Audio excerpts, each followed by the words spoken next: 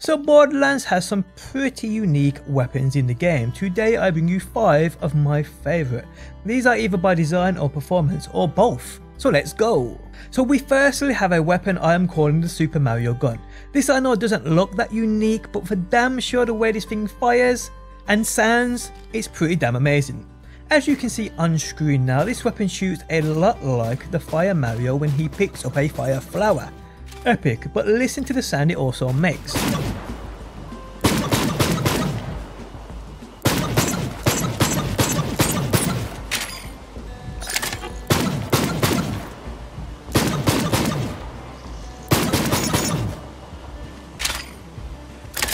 That distinct sound of Mario's old school theme tune.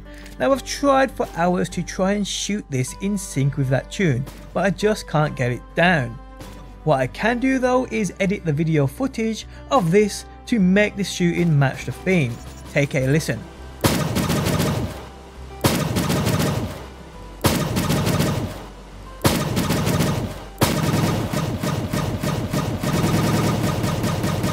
So yeah, the Super Ball, or the Super Mario firing fireballs. This thing had to be on my list. Okay, so next up we have a weapon which is super unique in itself too. Now I know this is alien tech and the sniper isn't really a one-off as I've seen a couple about, but the Malak's Bane for me has an edge for what it can actually do. This sniper rifle switches to a shotgun and it's pretty epic at the same time. Now I know if you have farm legendaries like I have, you have probably come across this with different stats and so forth. So I know this weapon isn't the rarest in this list, but for me its uniqueness in looks, with that alien tech applied, plus the fact this can switch between two weapon types, is why I've added it to my top 5. Okay, so next up we have another weapon which for me is more than just a weapon, because it refers to one of my favourite superheroes. And plus the way this thing looks and shoots is why it's in my top 5. The Jericho in which, if you didn't know and I didn't tell you, you'd 100% say this is a great looking sniper rifle.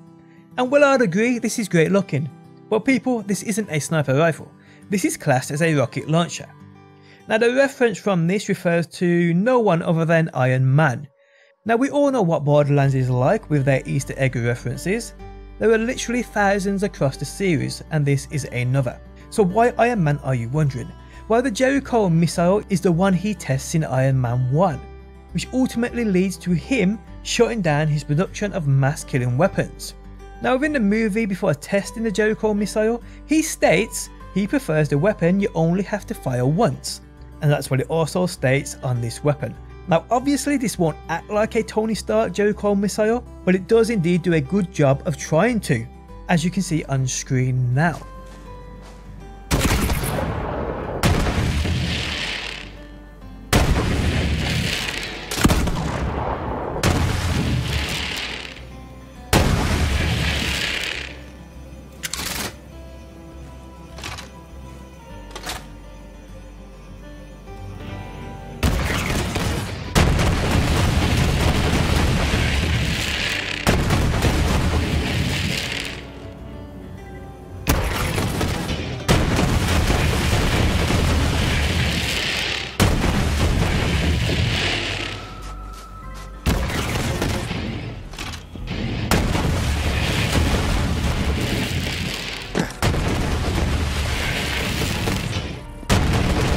Yeah, I love this thing, even though it's quite impractical for most instances.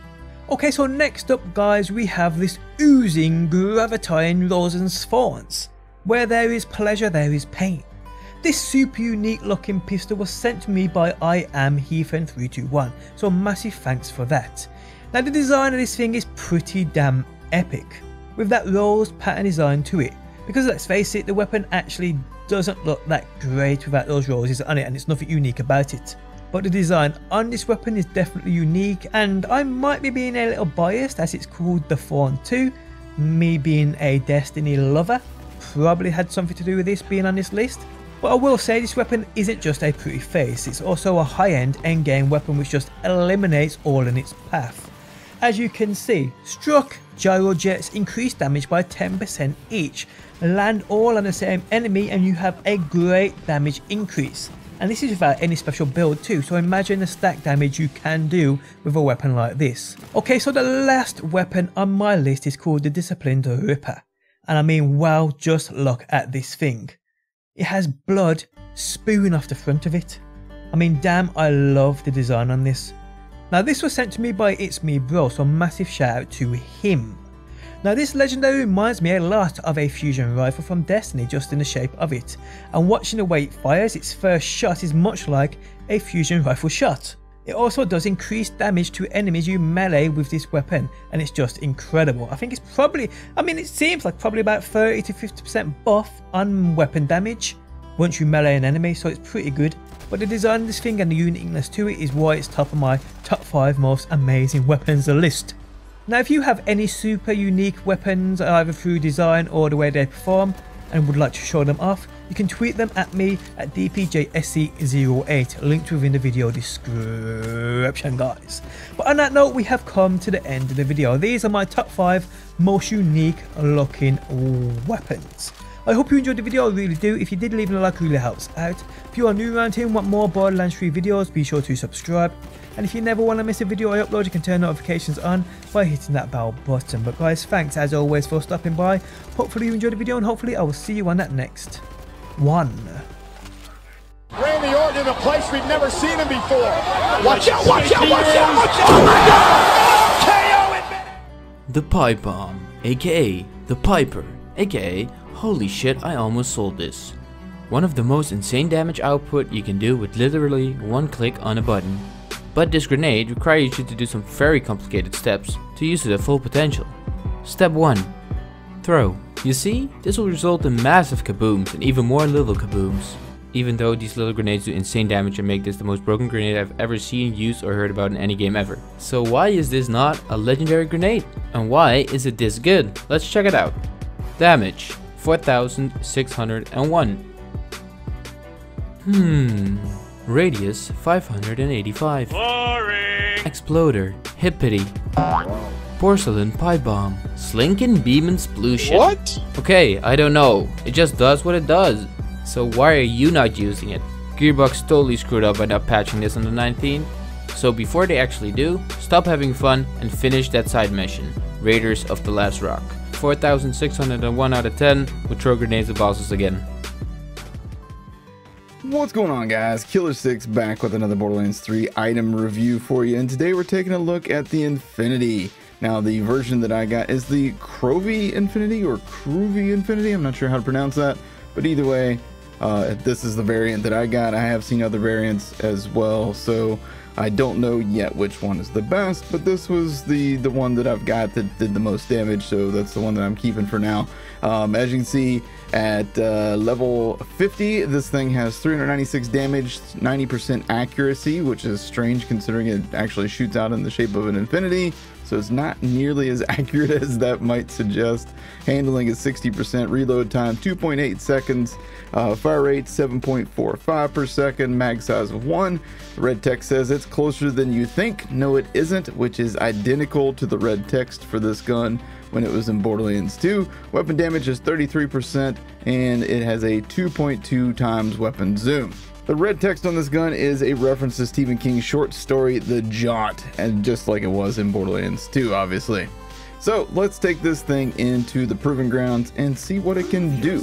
Alright, so first and foremost, the Infinity Pistol, for anybody that may not know, is uh, it just never, it doesn't use ammo. Um, in Borderlands 1, you always had to have one pistol ammo uh, to use this weapon. Now in Borderlands 3, you don't have to have ammo at all. As you can see down in the bottom right, there is no mag size listed for this gun. So you no longer even need uh, to have ammunition. So on a character like Gaige, if she was in Borderlands 3, she would actually be able to use this with Anarchy. But, uh, you know, she was out of luck because uh, with Anarchy it would reduce her mag size. So she was never able to really use the uh, the Infinity unless you found there was a uh, class mod that you could use later on uh, that you got from the uh, Dragon Keep DLC, but even still, I mean, it's not not the best option for Gaige regardless. Um, but anyhow, let's get back to Borderlands 3 and the Infinity Pistol. So as you can see, um, it, it's okay. You know, I'll say that it's it's an okay gun. Um, it is what it is. You know, it, it's all about that not needing ammo thing. So what I always told people about the Infinity on Borderlands 2 was that it's great for normal and true Vault Hunter mode where ammo tends to be an issue. It's not always so hot for ultimate mode where, you know, you're going to have better options for doing damage and ammo is usually not that big a deal by the time you get to ultimate mode, you know what I mean? So that's always been my hot take on that. Um, now, I'll say this. I, I love the Infinity Pistol on certain characters on Borderlands 2, but here in Borderlands 3, it does feel pretty lackluster in terms of the damage. There, there's a lot better options, and uh, you'll see that in my other item reviews that I've posted. Um, this thing, this one just doesn't, you know, really do it. Here, let's let the uh, let's let the the clone use his Infinity Pistol. He has, you know, pinpoint accuracy, so let's see how this goes.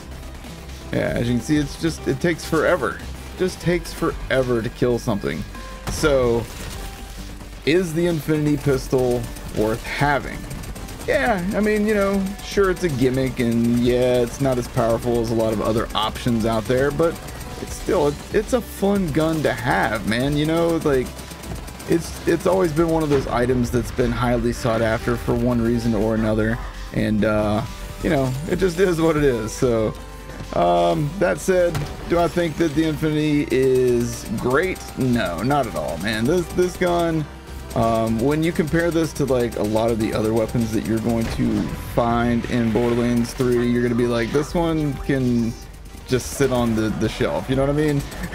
this one's one of those ones that you're gonna use as a room decoration, and probably that's about it.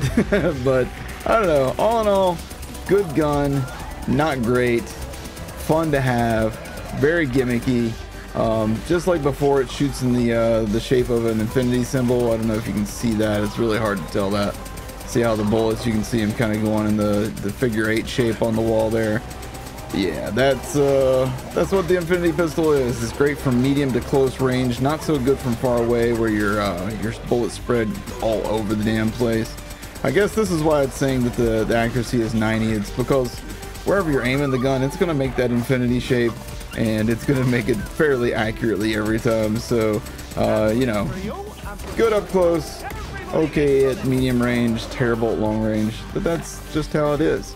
So, let me know down in the comment section below, have you found the Infinity Pistol in Borderlands 3? Uh, if you did, did you find it from one source reliably? I have yet to figure out who drops this thing, once I do figure that out, I will let you guys know via either a pinned comment or uh, maybe even in the description of the video so you guys can go and, and hunt this thing for yourselves if you want to. But I hope you guys enjoyed this video. If you did, then please take a second, hit that like button, hit subscribe for more. Tap the bell icon to be notified anytime I post a new Borderlands video because there will be a lot more Borderlands 3 videos on this channel. Hope you guys enjoyed this, and I will see you in the next one. Y'all have a great day.